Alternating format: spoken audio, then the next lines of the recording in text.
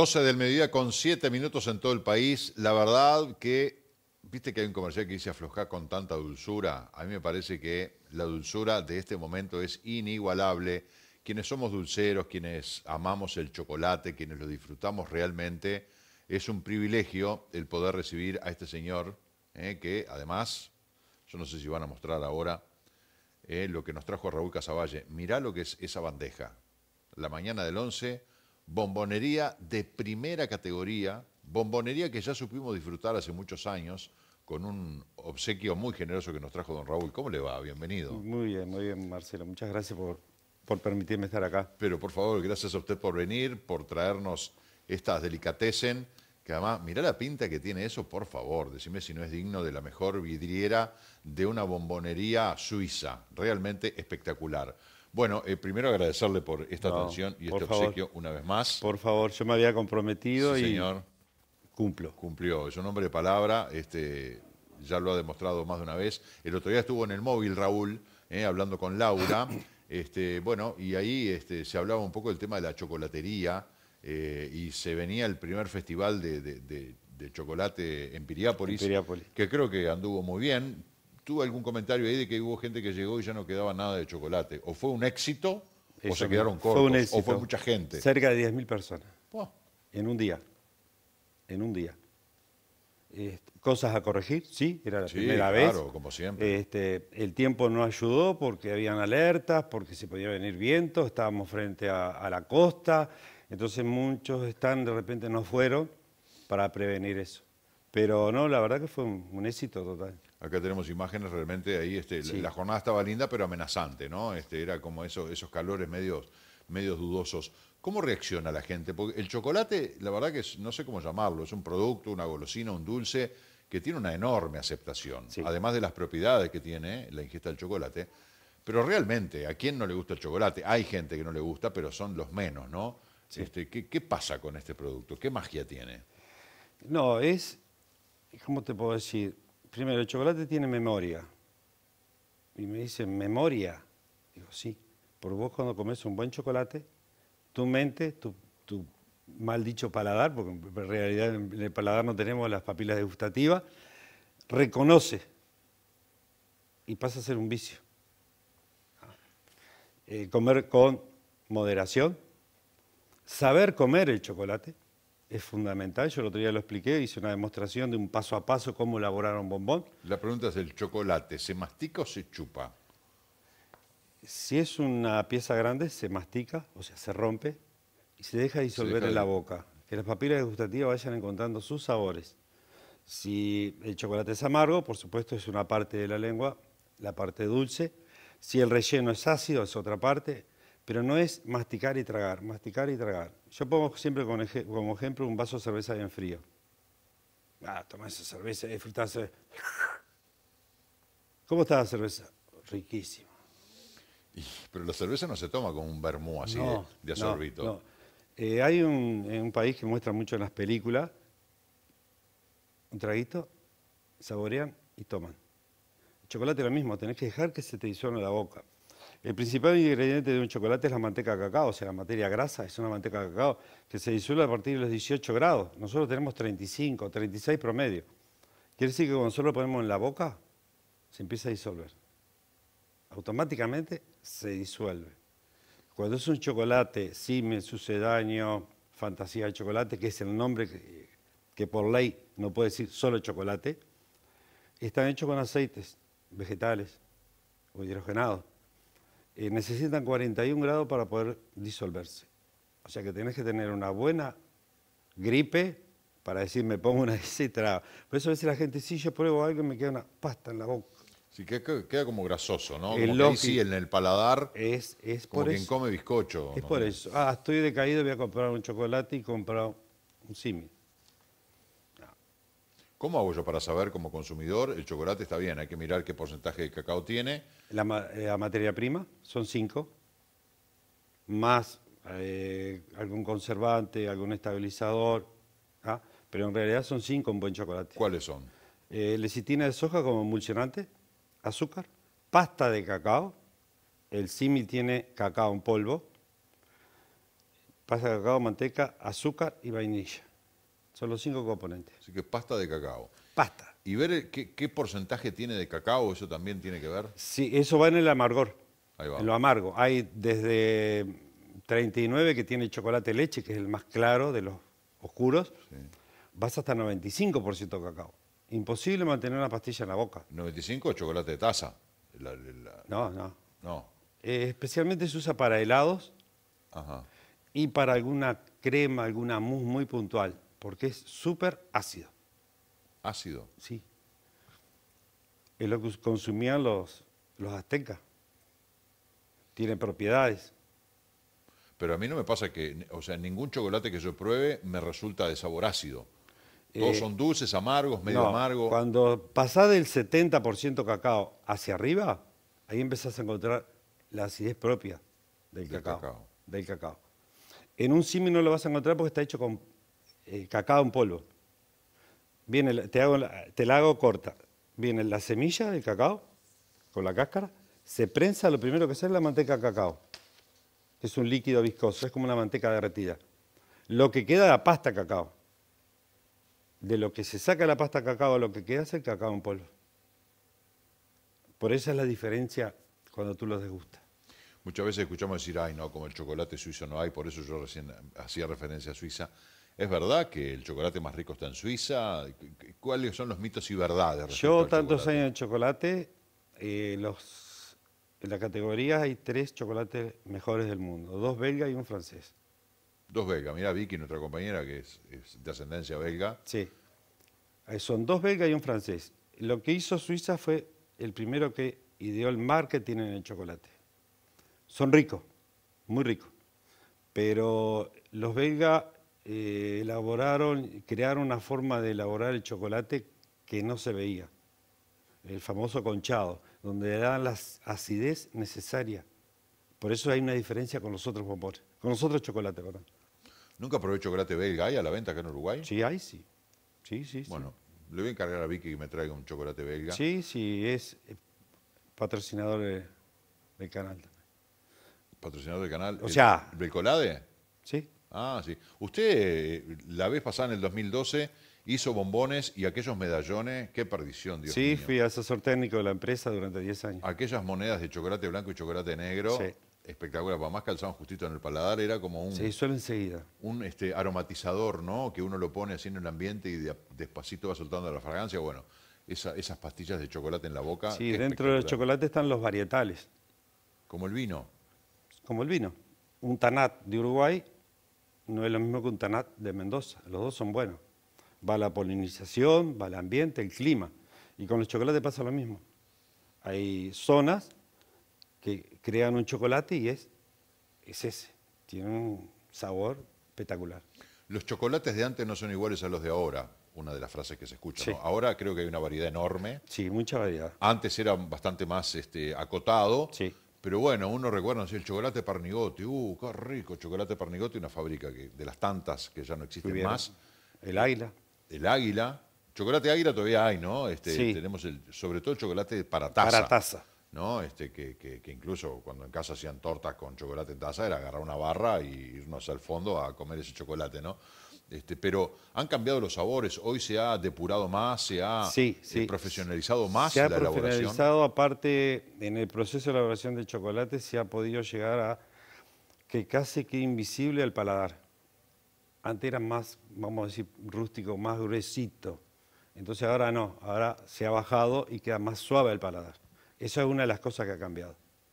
Y al haber tantas marcas hay muchas competencias. Pero no quiero ahondar en... No, no, acá los- podemos hablar libremente, no pasa nada. porque si no, este, no salgo de acá. Así, así podemos traer de repente algún sponsor. Ahora, el chocolate en rama, qué cosa rica. Yo no sé por qué, si será por la textura. Sí, sí, ya ahí, ahí tenemos el chocolate en rama. Me pierdo con el chocolate en rama.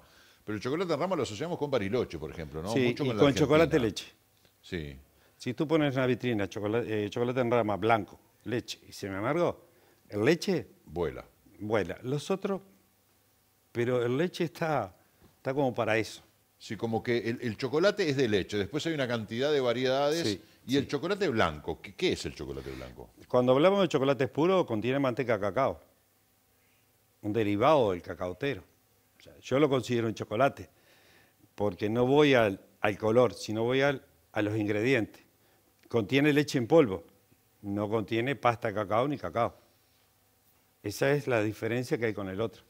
Ya el chocolate leche es la unión de los dos, por decirte algo.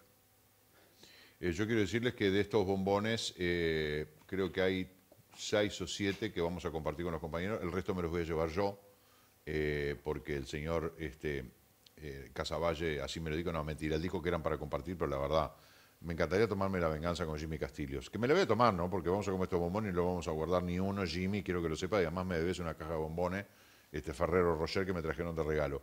Pero más allá de esto, el otro día usted hablaba, yo soy consumidor de chocolate este, de toda la vida, sí, sí pero consumidor clásico, ¿verdad? Yo el otro día lo escuchaba a usted decir que hay, no sé, mencionó dos o tres comidas que llevan chocolate que uno dice, pero ¿cómo puede ser que haya, sí, sí. no sé, una tortilla de chocolate? Sí, sí, el chocolate está en la cocina en todo. Eh, puré de papa. Puré de papa con chocolate. Con chocolate blanco. Pero el chocolate blanco conservando su sabor como lo conocemos. Conservando el sabor. Lo único que lleva un un toque de pimienta y un toque de sal, pero mínimo. Pero tú lo comes y vas a encontrar la papa, que lo primero que se va a disolver va a ser el chocolate en tu boca y después viene acompañado por la papa. Tenés que acostumbrarte claro. a, comer eh, añolotis de cacao. Pero no es que el chocolate vaya mezclado en los ingredientes, no, no, va, específico. Va, el va como un ingrediente del puré. Tú no vas a encontrar las chispitas, vamos a decir, del chocolate. No lo encontrás. Después un rack de cordero con una salsa de chocolate. Salmón con chocolate blanco. Bueno, para muchos puede ser un sacrilegio, ¿no? Este, comer un salmón o, a un salmón ponerle chocolate, digo, ¿no? Hay que probarlo. Como hay gente que de repente dice, bueno, este, no sé, el, pollo, si no se come con la mano, comerlo con cubierto, el chivito, comerlo con cubierto es un sacrilegio. Son cuestiones de costumbres de Costumbre. hábitos, ¿no? Me pasa con los rellenos de bombones. A mí me invitan de muchos lugares y mismo en los talleres de chocolate que doy, siempre que me invitan a algún evento, como en La Paloma, como en Piriápolis, eh, yo trato de hacer relleno de bombones con los productos de la zona. Claro. No me ha tocado todavía algún departamento que sea ganadero o lanar, porque ahí sí se me complica la vida. Y porque sí, carne, carne de oveja con chocolate. Mm, está, si me decís un plato salado, sí, pero en un bombón no, no lo puedo lograr. Eh, lo puedo lograr en una zona donde hagan sushi. Me ha tocado hacer bases de bombones, al cual yo hago sushi, digo, ¿qué, cosa más con un chocolate de 80% cacao. Es horrible el sushi. Yo sé que me estoy echando en contra a un montón de gente porque le encanta a la gente el sushi, ¿no? Pero es un pescado con una glándula media extraña, un arroz apelmazado, un papel de plástico que es un símil. Y oh, sushi, oh, como un sushi a ver, tengo amigos que este, venden sushi, me van a odiar, pero es lo que pienso. Ustedes saben que yo voy de frente. Eh, ¿También ahí se usa chocolate? Sí. ¿Será para mitigar un poco el sabor a pescado? El, claro, para tener otra variedad. Eh, me ha tocado poner, hacer una degustación para una fábrica de queso. Lógico, ese bombón no se va a comer con un postre, eso es con un trago. Poner para el jueves, en la noche. Ahí. ¿Qué pasa el jueves en la noche? ¿Vamos a festejar? Sí, lógico. Obviamente. Este, pero. Eh, solo para entendidos. Bombones para una empresa que hace aceite de oliva. Bombones de chocolate blanco, aceite de oliva y sésamo tostado. Pero no es que va el aceite puesto así. No, no. Se hace una trufa. Ajá. Ah, tú la comes, como el chocolate se disuelve, te queda el aceite. Más el sésamo tostado Qué rico. queso Roquefort, lo que quieras. Dentro de un bombón, menos fruta natural, lo que quieras. Claro, un bombón con un pedazo de frutilla dentro, no. No, porque... Qué rica que es la frutilla bañada. en la fuente de chocolate. Oh. Fermenta en una hora y media dentro de un bombón. ¿Cómo? Si yo pongo frutilla... Ah, fermenta. La, fermenta. La fruta fermenta. Fermenta ah, natural, fermenta, sí. Eh, la, posibilidad de comerlo enseguida, ahí sí podría ser. Sí, me tocó en un evento en un hotel Ah, que pidieron con ensalada de fruta, pero cortado en lo que se llama brunoise. Es chiquitito, de dos por dos. Lo hice mientras estaba, o sea, cuando estaban con el plato principal. Claro, ¿Ah? Los hice, se fueron. claro. Quedaron fascinados, claro. Ah, en eso sí. Tipo minuta, hecho en el Sí, momento. no se puede, no se puede elaborar previamente. En el caso de la de Piriápoli, ¿qué es lo que hay en la zona de Piriápoli? Aparte de muchas cosas, licores. Ahí vas a tener un Mm. Qué bombón rico de bombón de licor. licor al cual yo hago un, un proceso, no es que lleva licor puro puesto adentro, más un dulce de leche saborizado con el mismo licor. O sea que vas a tener dos texturas dentro del bombón. Después tengo uno de mermelada de guayaba. No son los que más me gustan, pero bueno. Ta. ¿Cuáles son esos? Los blancos son los de guayaba. Ta, así los dejo para los compañeros. Los negros con el punto blanco son de licor de coco con una pasta de coco. O sea, ahí también tengo dos sabores incluidos. ¿Alguno con pasta de almendras, pasta de maní? No, porque en la zona ahí no. Yo me dediqué a la zona. Y los que tienen dorado, Sí. mermelada de tomate. Mermelada de tomate. Con un toque, con un arreglo. Ese lo vamos a probarlo. Son los que tienen dorado. O sea, no es que yo puse solo la mermelada. Sí, sí, sí. Porque el tema es, a mí me dan un producto y yo tengo que trabajar con los, todos los chocolates, lo que es la carcasa, o sea, la cápsula, más el relleno. Tengo que llegar a ese sabor. Poner, me dan dulce de leche, yo con el blanco no lo puedo poner, es muy dulce. Entonces yo tengo que ir Claro. preparando. Es toda una ciencia, no es así nomás, ¿no? Este No, de que no. hago chocolate, le doy la formita y son Imagínate bombones. con un queso gorgonzola, lo más fuerte que hay. No es que yo ponga un pedacito de queso ahí adentro. Es fácil. Te agarro, hago la cápsula, pongo queso, relleno, está espectacular. No, no, tenés que hacer una trufa donde el, el vehículo, o sea, lo que me, me transporta el sabor, es una, es una crema, vamos a decir, con el sabor a eso. Vicky, me tenés que traer chocolate belga, ¿eh? ¿Eh? Porque vos sos belga y vos sabés de chocolate. Quiero que vos, quiero que vos me, yo te doy la plata, ¿eh? No es por eso, ¿no? Ah, me dice, ahora sí, qué macanuda. Todo era por la plata, pero bueno, vamos a ver si sos buena. Eh, Por la plata si me permites un segundo. Sí. Tengo que agradecer a la empresa de seguridad que me estaba esperando acá en la puerta con los bombones, que me acompañó desde la puerta hasta acá, porque, Empresa de seguridad de Grot. eh, porque con tantas cosas que había, digo no. Entonces contraté la empresa, me, me estaban esperando en la puerta, me acompañaron y ya se fueron, les quiero agradecer a ellos que Bueno, no, hay uno parado en la puerta, ahí yo veo uno tipo Geo ahí parado en la puerta mirando la bandeja de bombones. Este, la bandeja de bombones es mía, mando yo. Dígame una cosa, eh, ¿usted se va a instalar? Eh, Va a ver, el otro día Laura le sacó alguna, alguna puntita ahí. Yo este, apoyo que haya una bombonería en Punta del Este. No hay, no hay un lugar No donde ir a comprar no, bombones. Más allá de que yo voy al súper y tengo una góndola con golosinas o que puedo comprar una caja de bombón en el almacén. No, no me refiero, me refiero a esto. Bombonería, bombonería. Sí, hay una de las cosas que no, pienso que no creen que funciona porque se cree que los bombones solo se comen en invierno. No. Chocolate. No, es como el Estoy de helado. acuerdo con ustedes, yo como helado en julio. Sí, yo soy de comer helado, Helado en todo el cualquier año época del año. todo el año, sí, el sí. chocolate lo mismo. Y acá, Punta del Este, funciona en verano.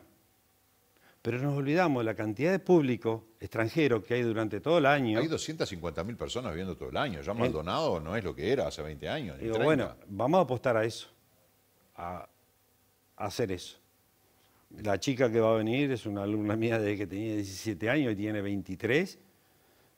Ella elabora bombones artesanales en Trinidad y vení para acá. La principal propiedad del chocolate, ¿qué, qué, qué bondad tiene?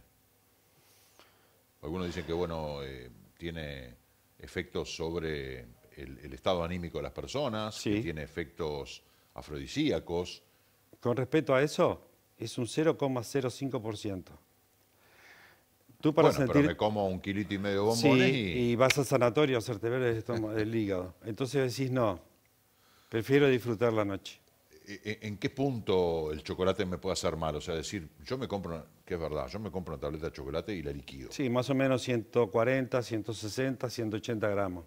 Hasta eso estaría No, yo te diría 100 gramos, no más por día. Tampoco es abusar. 100 gramos, pero Leyendo los ingredientes, claro, esos cinco que usted mencionaba es fundamental. eso tienen que estar.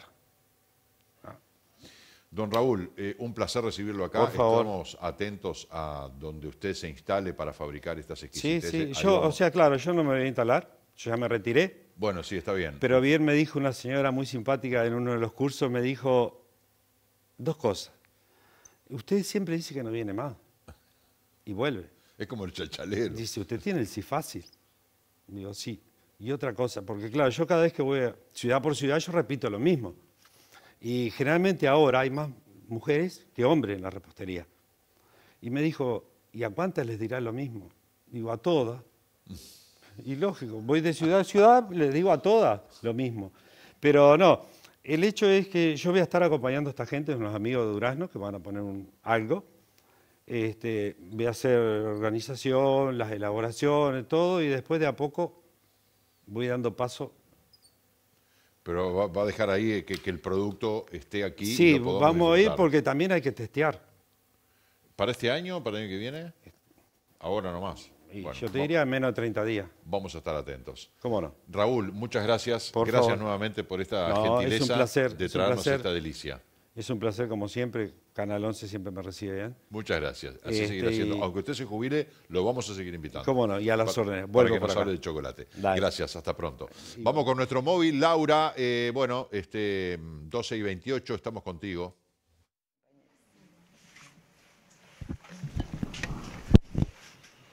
Bueno, la verdad que es una gran alegría estar acá. Eh, recién lo comentábamos. En, las campañas electorales toca eh, andar por muchos lugares y bueno, acá se respira un, aire muy lindo porque los compañeros están contentos, las compañeras están contentas por, por este acuerdo, que es un acuerdo que no, surge de, la nada ni surge de un proceso exclusivamente nacional, sino que que surge en el caso de estos compañeros y compañeras de un trabajo conjunto de hace mucho tiempo acá en el departamento de Maldonado. Así que eh, agradecerles a los trabajadores y las trabajadoras de los medios de comunicación por estar presentes acá para comunicar algo que para nosotros es una noticia muy linda que nos llena de, de alegría, que es esta 90567 que además del acuerdo entre el Partido Socialista y el Partido por la Victoria del Pueblo, eh, con los compañeros también de la 5005, que, que venimos de un proceso largo de, construcción juntos, eh, abre de alguna manera sus, puertas a incorporar eh, a otros compañeros y compañeras que también acá en el departamento de Maldonado luchan por temas muy sensibles, como es el caso del Frente Ambiental Sustentable, los compañeros del FAS que también están integrados dentro de esta, de esta propuesta. recién veníamos conversando con, Leandro, el compañero con el que venía hasta acá, eh, de, algo que, ahora Gaby de alguna manera tocaba también en su intervención, que es cómo eh, las agendas este, vinculadas a los temas ambientales, a los temas de, de derechos de las mujeres, de derechos de colectivos históricamente discriminados, están directamente vinculadas con las agendas de los trabajadores. Eh, en general, ¿no? No son agendas que se puedan separar. En realidad, cuando hablamos de los problemas ambientales, por ejemplo, que acá en Maldonado son problemas grandes y que han inspirado luchas importantes en el último tiempo, no estamos hablando de un problema para un sector social acomodado, estamos hablando de un problema eh, que evidencia problemas estructurales de la sociedad. ¿no? El mundo grita eh, y también nuestros territorios gritan eh, el sufrimiento ocasionado por un sistema productivo que eh, no tiene reparos en destruir la naturaleza y también en destruir a las personas.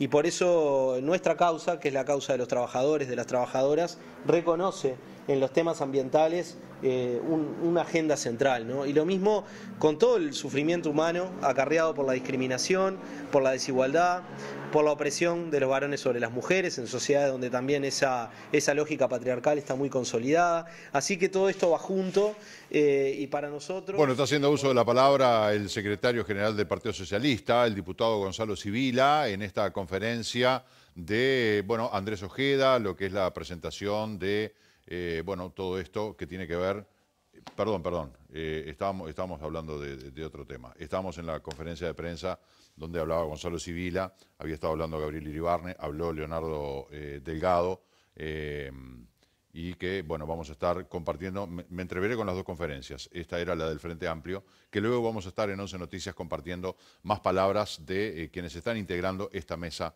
de la conferencia de prensa. Hemos llegado al final, 12 del mediodía con 32 minutos en todo el país. Gracias por habernos acompañado, que tengan una muy buena jornada. Hasta mañana.